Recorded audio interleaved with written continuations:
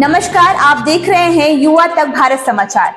नाव जनपद के जिला अधिकारी गौरांग राठी पहुँचे मौरावा रामलीला मैदान। रामलीला मेला का आज जिलाधिकारी उन्नाव ने फीता काट कर किया शुभारंभ।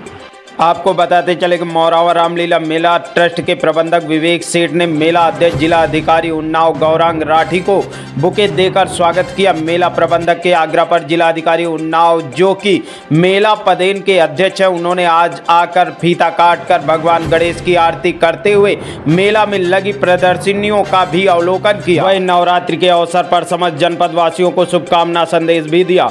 वही कहा कि भगवान श्री राम के आदर्श पर चलकर सीख लेनी चाहिए। सत्य की विजय होती है।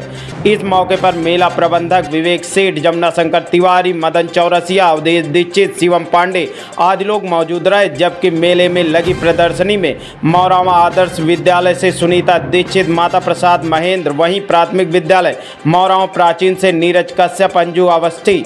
प्राइमरी मौरावन नवीन से Anurag Mishra A R P B K Mishra, Dharmendra Dwivedi, आत्मा रामपाल, दुर्गेश सुजीत मौजूद रहे।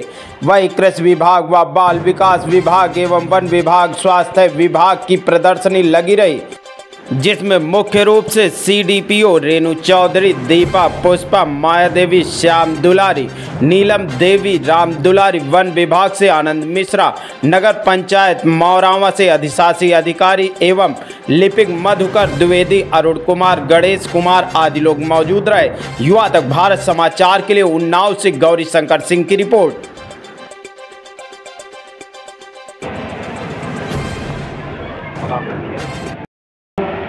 अलग अलग तरीके से करीब दस से बारह दिन मुझे तक का कार्यक्रम और रहता है उसके बाद करीब आठ से नौ दिन धनतेरस से और शुरू करते हुए छठ पूजा का आयोजन जो दीपावली के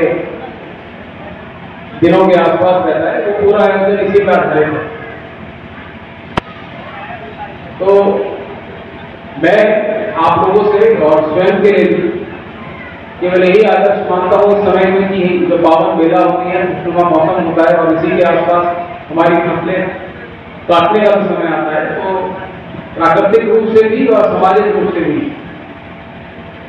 इस अच्छे माहौल में, इस अभूतपूर्व और अद्वितीय माहौल को हम लोग उसी भावना से, उसी पावनता से, पाक भावना से आयोजित करें और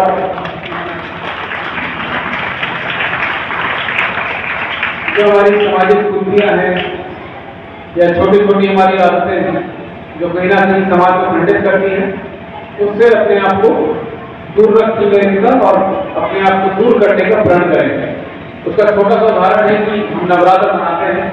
तो नवरात्र मातृ शक्ति,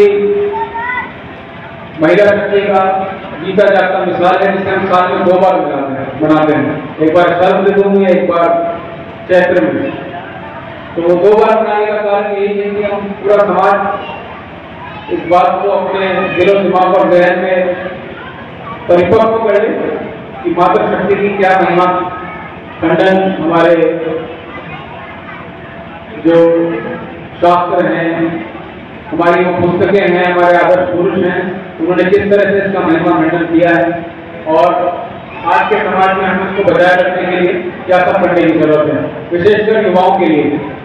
युवाओं को ये बात जानने की ज़रूरत है और घर में हमें ये बात बताने की ज़रूरत है।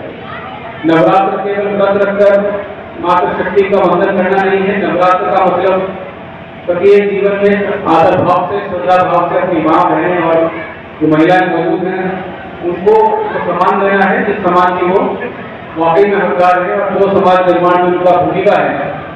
एक महिला ही परिवार का समाज का निर्माण करती है। ये बात किसी से छुपी नहीं है और इस बात में कोई संशय नहीं है।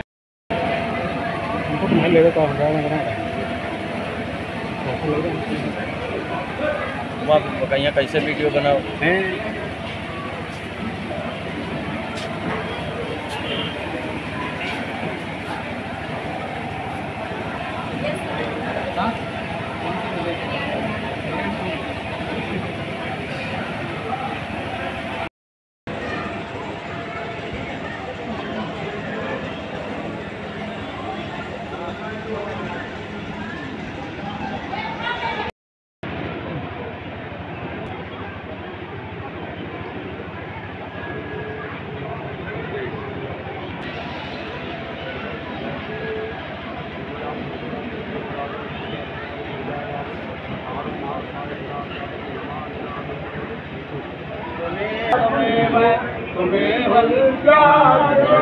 तुमेहो त्वमेव सर्वं मम देव। देवा नीलां रक्षामय